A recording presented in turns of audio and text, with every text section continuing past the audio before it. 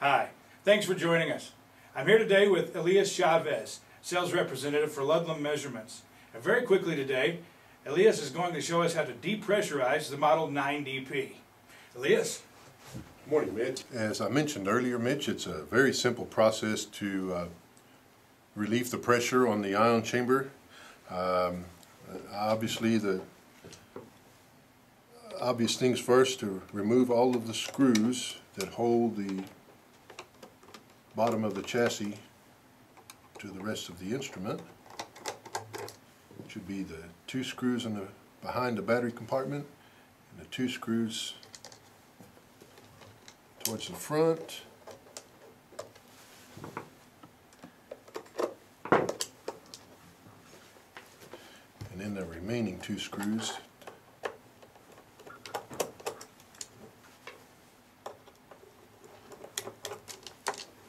Once you've removed the screws, you want to take special care when you separate the two pieces.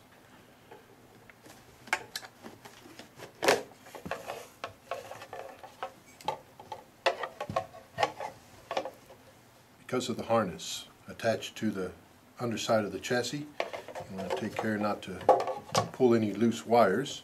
And this is as far as you need to go. This will allow you access to the chamber valve, as we see here.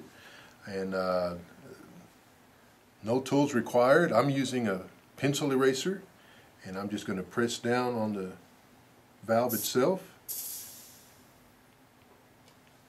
Takes that long to relieve all the pressure in the chamber, a matter of seconds, and you're done. Uh, Mitch, one item to note on the newer version 9DPs, the valve has a uh, brass cap on for a cover.